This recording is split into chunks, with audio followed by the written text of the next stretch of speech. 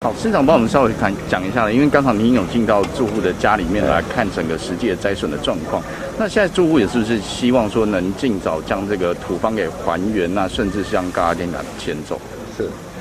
其实再度来到戏子波街山庄来关心我们的受灾户，最主要经过这几天不眠不休，我们的清洁队、区公所、公务局，还有民间团体的慈济，以及我们的土木结构技师都来现场处理了大概将近快五天了哈。这五天当中，先把波损的伤害已经减到最低，同时也找出原因，更重要的台电也参与这里面。那这几天连续的清理，让所有住户能够先搬回来。现在大部分的住户都已经回来，只剩下两户六人还没搬回来。当然，因为在整个坡地的损害过程当中，因为里面的含湿量还蛮高的，所以我们先做一个初步的预防性的处理。那长期来说，在天气比较晴朗以后，我们会一劳永逸，把现在的坡地把它固定的更稳定。当然，以现在的建电、那台电以及一个相关单位的认知上，判断目前还是稳固当中。不过，相对的居民自己在附近还是非常的不心安，所以刚刚居民也有一些声音说啊，应该加个心理安呐，也怕落石再下来啊，这个心情我完全可以理解。那我请我们的结构技师，每一户每一户再去鉴定房子到底有没有危险，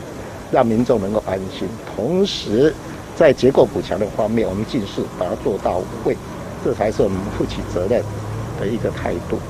所以市长现在态度就是不要不强制要求台电迁电塔，但是要要求台电把整个电塔周边的地基那些都要先做好。其实这个要分短中期来看啊，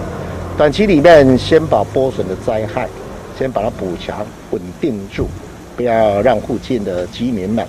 这个饱受这个灾害之苦，这是我们要做的。另外在灾损的部分要协调水保义务人，如何让整个损坏的房子能够复原。这是我们必须也要做一进一步处理。当然，在整个长期的做法上，因为居民其实看到这样一个高压电在周遭，他们的心理的压力非常大。那这个部分，他们希望建立一个长期的窗口。那台电以及我们水保义务人，必须要善尽管理的责任。所以长期以来，台电在这个包腰电塔的上面的维护跟管理以外，更重要，台电是不是要赶快在这样一个人口居住环境这么多的地方，把它办理迁移？我想台电也要提出一个具体的一些方法来跟居民做一个沟通。那这一部分，我相信在大家努力底下，也希望我们的居民能够安心跟安全。市长周末又有一个类内泥沙的那个外围环流入进来，那这次有做好准备吗？其实我们每一次都会好好的把该做的事做好。那因为这几天呢，那个虽然没有雨量的，但是因为细子地区哈含水的雨量的波地还算蛮多的啊，所以我们不断的在开灾，不断的去做进一步处理。我们把自己该做的事做好，这是我们的本分。这个周末是不是还会呃要替张善政来做补选？那目前全台补选的规划是怎么样？其实我最重要的是善尽我们自己当市长的责任以外，在有力量的时候该去帮忙团队的时候，我也会尽一份的义务。我们就要好好的把现在的事情做好，然后该尽义务的责任，该大家一起团队一起面对所有的问题，我们大家一起。好好团结往前走，因为明天还会有一些风雨，那还要明天会去造势嘛？这个周末会有一些风雨。其实我们要看整个状况里面，我们会好好的把事情做好。那未来会邀韩市长来站台来替您补选，我会把该做的事做好。我想团队都面对所有的挑战，我们大家团结一致往前走。市长，我们目前还没有请假那个竞选，那现阶段身为母鸡的您，这目前的竞选策略是什么？以及林佳龙表示，若您的心放在二零二四的话，现在就该放手新北市长的这个职务了。其实谢谢大家的关心，最重要我要把握当下，好好努力做事。就像今天我再度来看，最主要是因为他们同仁已经在这里连续五天，以及跟事务大家承担的压力，我必须得给他们更大的鼓励跟支持以外，还要把一些还没有做好的事情把它做更好。那这才是我该做的事情。所以谢谢这段时间的市民，也谢谢我们地线辛苦的伙伴们，大家一起加油，谢谢。记者这次除了土石流以外，现在好像还有传出地层下陷的问题，市长您有了解？这个第一个时间我都有掌控，那是弓箭路那个地方啊，因为路基有塌陷，那我们连续已经灌浆，已经灌好了，不过要让它连续三天保持干燥，才可以恢复状况。所以细致的一些事情，我在第一个时间不断掌握，而且都有图片，也有指示，该如何做好处理。我们大家一起努力，把所有民众所要新北市做的，我们用全力把它做好。是啊想问，因为这次那个候选人号是不是抽到二号，跟四年前一样，那这次有没有准备什么样的口号？有信心可以延续胜利？好啊，为你好好啊做代志，好啊为你好好啊做代志。二号，哦，你二号啊，所以二号我鼓励嘛，抽到二号，啊，延续我好好啊做代志，是互我为你好好啊做代志的精神，继续拍拼，感谢市民的支持，互我抽到二号最幸运的号码，为你好好做代志。市长再问一下，这是确诊者在中选会这边说，好像是确定已经是不能投票了。但有一些是因为投票是人民的权利嘛，好像有一些违宪的疑虑，你自己怎么看？这一次因为有十八岁的公民投票权利外，选举就是人民的最基本的权利，尤其兼中选会更应该在基本权利的保障底下，鼓励大家出来投票。我相信确诊在投票。的一个行为的过程当中，在全世界都有很多的方式可以克服解决这样的问题。我建议中选会可以参考国外各项的例子，场地如何布置，动线如何规划，好好去克服人民投票的基本权利，不要影响他们的权利。所以我期待中选会还有一段时间想办法借国外的例子。让人民基本权利可以站出来投票。市长，那关于这个恩恩案，因为前两天您有回应说已经进入这个司法理清，不过恩恩爸后来呢是又在发文说，所谓的司法理清，但他没有看到任何的司法案号正在进行当中，他感到受到霸凌，怎么回应？我可以理解家属的心情，啊，一切都在司法的进行当中。那国安局长说，二零二三年中共可能以战逼台，是否是民进党在替二零二四的抗中保台牌来铺路？对我个人来说，捍卫中华民国、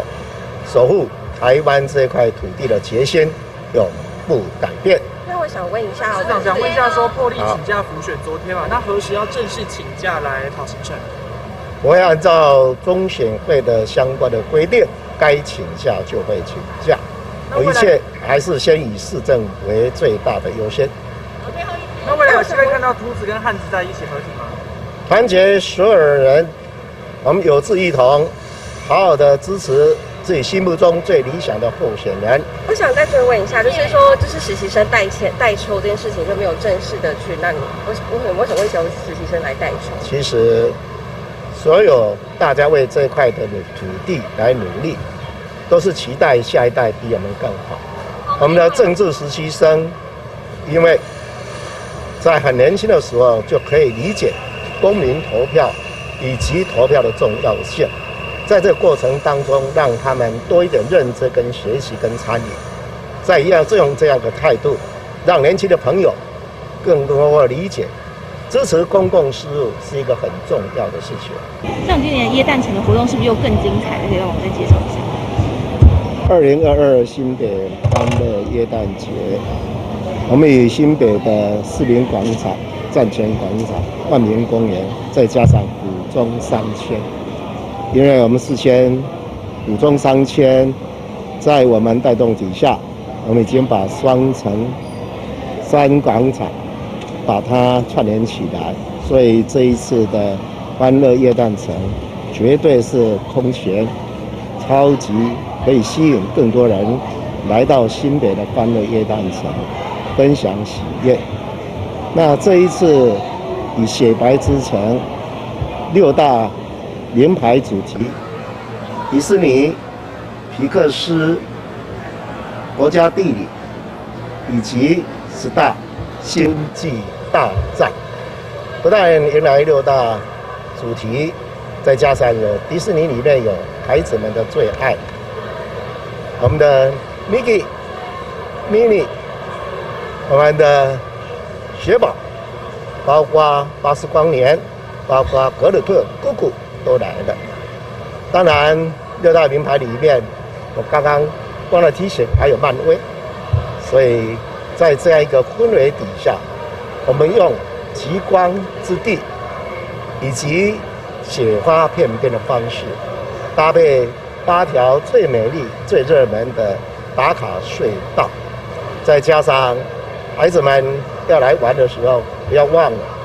我们有很多的场地需要穿着雪衣，因为很冷，在一个冰天雪地、雪花飘飘，再加上有孩子们最喜欢的玩伴。大家一起分享一个温馨、快乐、有希望的未来城市新北市。那在这过程当中，我们礼拜六、礼拜天依然有很多的活动，尤其这一次的欢乐耶诞市集，德国的耶诞市集会原版的搬到新北市的市民广场来，再加上府中商圈又有一个主灯，双主灯。的带动底下，也迎来了北极熊的参与，所以这一次的欢乐一诞城，我们的六大名品牌，以及我们最可爱的孩子们最有兴趣的我们的童年的回忆，这些都会齐聚在新北市，所以相信新北市的欢乐一诞城，不但是全球五十大。永远大家不会忘最开心、最欢乐的一个耶诞城，也不要忘了我们全世界最发达的欢乐耶诞市，也是在我们新北市。期待这一次的二零二二的欢乐耶诞城，带给大家在疫情以后有一个温馨、快乐、期待的岁月。但是因为现在林佳龙就说这是板桥人的噩梦嘛，然后他也认为应该要换地点，那时间上有必要要办这个场。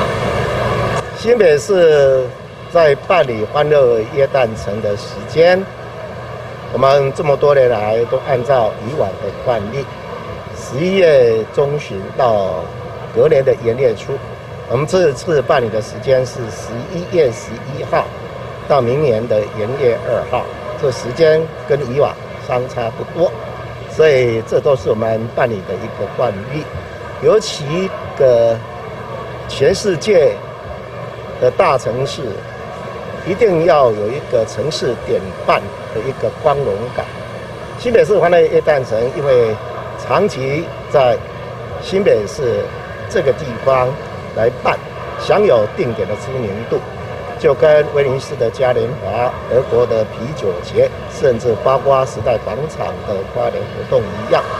这是新北市的城市典范的行销，这是我们的光荣。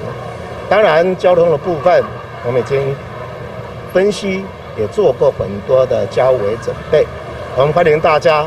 新北市有四铁共构，搭乘捷运、搭乘大众运输的公车，来到新北市参与分享快乐的欢乐耶诞城。市长，这个林家龙哦，对这个耶诞城有很多的争辩，那是不是也邀请他，就趁着这次机会，一起来耶诞城走走？我非常欢迎。全台湾，甚至全世界的每一个人，都能够到新北市的欢乐夜诞城，来分享温馨快乐的时光。